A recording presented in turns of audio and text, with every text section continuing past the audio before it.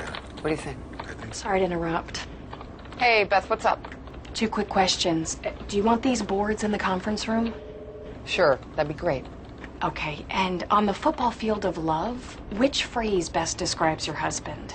Illegal use of the hands, fourth and inches, or the two minute drill?